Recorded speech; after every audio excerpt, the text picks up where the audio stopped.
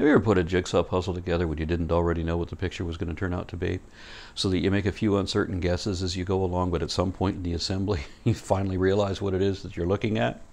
That's how it was for the early scientists of centuries ago to classify life forms, except it was as if they had only some of the pieces on one edge of the puzzle representing the animals that are still alive.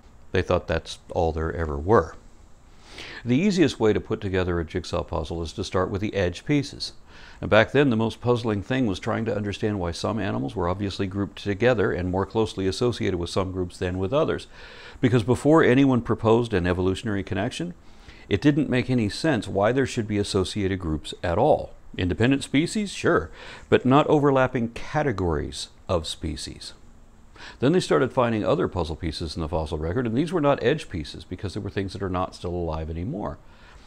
Our quarries are graveyards revealing successive generations of unfamiliar monsters that lived and died in a sequence of ancient ecosystems that came long before and now lie beneath the world of men.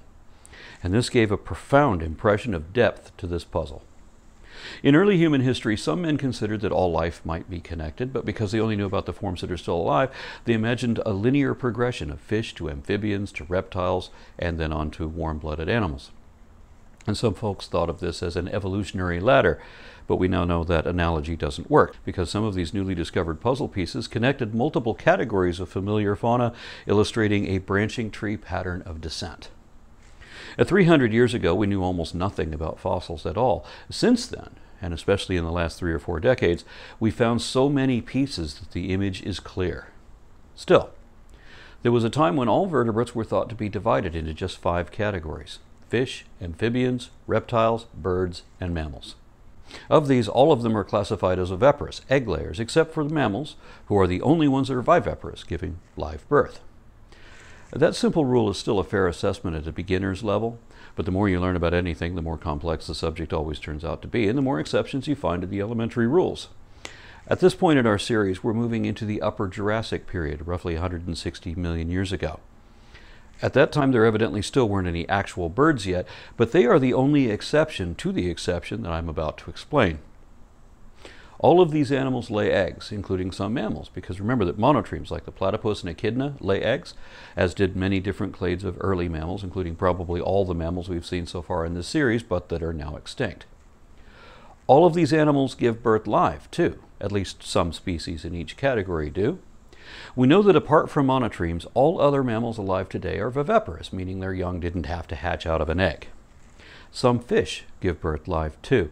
Sharks, for example, can either be viviparous or oviparous, depending on which species we're talking about. The same goes for reptiles. Most lizards and snakes lay eggs, but some have babies literally crawling out of them.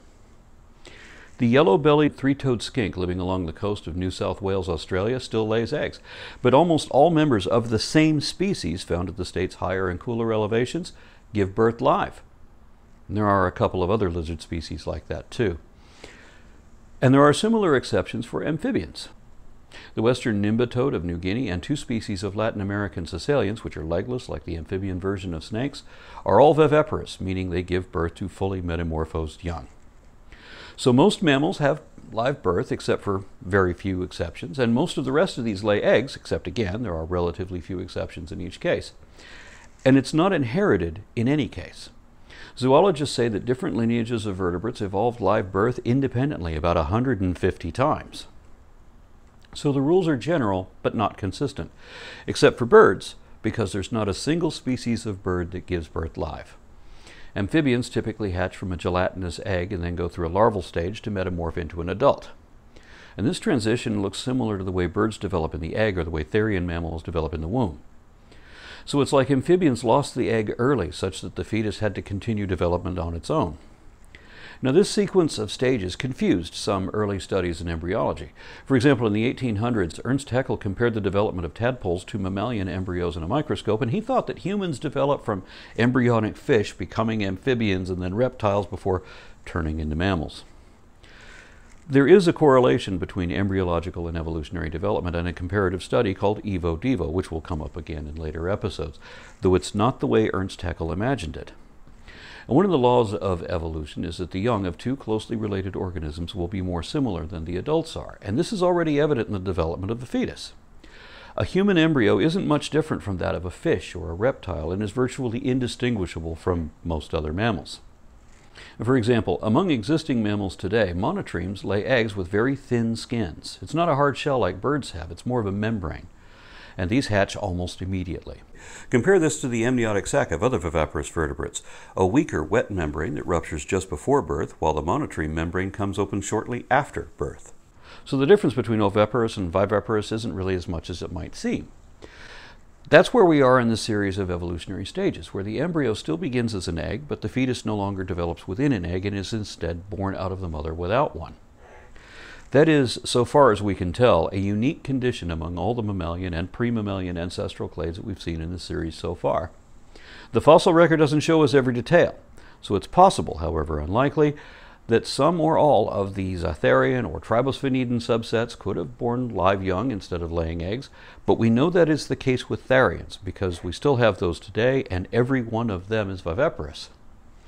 Remember that except for the platypus and the echidna, every mammal that still exists today belongs to this one group, while every one of these peripheral species groups are all extinct.